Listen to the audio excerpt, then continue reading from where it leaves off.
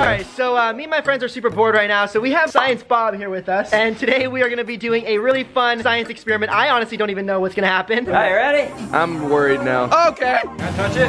Don't touch it. Three, two, one. Oh oh my god! It's a cloud! Oh my god! Oh my god. Bro, that was so cool. I'm gonna turn myself into a blonde girl. Here we go. One, two, three.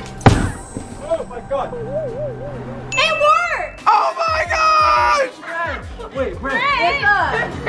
Brent. What's up? Brent's a girl. Oh wait. Oh.